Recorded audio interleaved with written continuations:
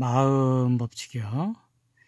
이 마음 법칙은 그 철학적인 기반을 저기에다 두고 있는 거예요. 이론론. 그러니까 하나라는 거죠. 하나. 모든 것이 하나라는 거예요. 이론론. 그 철학에 그 기반을 두고 있어요. 마음 철학이 마음 법칙, 마음 공부 이것이 그런데 원래 우리 인간은 그 이원론적인 생각을 많이 하죠. 그 두 개라는 생각을 많이 하는 거예요. 이원론적인 생각은 뭐냐면은 이제 너와 나가 틀리다는 거죠. 너와 나는 하나가 아니고 틀리다는 거예요. 이것이 이제 이원론적인 사고죠.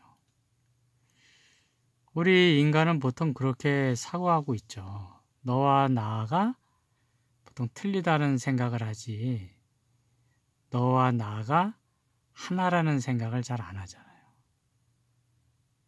근데 마음 법칙은 이 너와 나가 하나라는 거예요. 근데 원래 그 인간은 이제 태어나면은 원래 그 태어나기 전 그 원천이죠. 근원. 거기서는 이제 하나죠. 하나. 하나예요. 이런론이에요. 그래서 거기서 이제 우리가 태어나는 거죠. 마음 법칙에 의하면 태어나는 거예요, 거기서. 그러니까 처음에 태어났을 때는 애가 이제 이론론적인 사고를 하는 거예요, 걔가. 무의식적으로. 왜냐하면 거기서 바로 원천, 거기서 나왔으니까 이론론적인 사고를 할 수밖에 없죠. 그런데 나와가지고 이제 좀, 이제, 주위 사람들 그 사고에 이제 물들은 거예요. 얘가 어린애가 뭐 학교에서 이제 공부도 하고 이러면서 이제 사회화가 이루어지잖아요. 그러면서 얘가 이제 이원론적인 사고를 하는 거예요. 너와 나는 틀리다. 그러니까 객관을 바라보는 거예요. 객관적인 것이 있다. 이렇게 이제 바라보게 되는 거죠. 사물도 이제 객관적으로 바라보는 거죠. 나 말고 밖에 있는 어떤 그 건물이라든지 자동차라든지 이것이 이제 있는 거예요. 객관적인 사물. 그거하고 나와는 이제 별개란 말이죠. 이렇게 이제 이원론적인 사고를 하는 거예요. 그러다가 이제 좀 나이 먹잖아요. 늙으면은 나이 먹어가면서 이제 다시 이원론적인 사고에서 이론론적인 사고를 한다고요. 정상적인 것이 그렇다는 거예요. 예외도 있지만 보통 나이 먹으면은 이제 혹시 너와 나가 하나가 아닐까. 지금까지는 이제 별개라고 생각했는데 하나가 아닐까. 이렇게 이론론적인 사고를 하게 돼요. 나이 먹으면.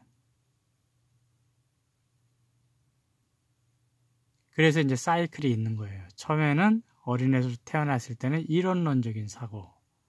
그러다가 이제 나이가 뭐, 이제 교육을 받고 뭐 사회화가 이루어지면서 자라는 거죠. 얘가 자라면서 이제 이원론적인 사고. 너와 나가 별개다. 이는 주위 사람들한테 많이 또 속잖아요, 우리가. 그러다 보면 이제 경계를 하게 되고, 이제, 아, 쟤와 나와는 틀리구나. 이렇게 이제 생각하는 거예요. 내 마음 같지 않다는 거죠. 그러다가 이제 늙으면 또 나이가 먹으면 혹시 그 우리가 하나가 아닐까 이렇게 이제 생각을 하게 되는 거죠. 정상적인 건 그런 거예요. 그래서 나이 먹으면 좀 이제 포용적이 되죠. 포용적이고 남을 이해하게 되고 그 폭이 좀 넓어지는 거예요. 이해심도 많아지고 이제 좀 자비심도 좀 커지고 사랑의 마음이 커지는 거죠.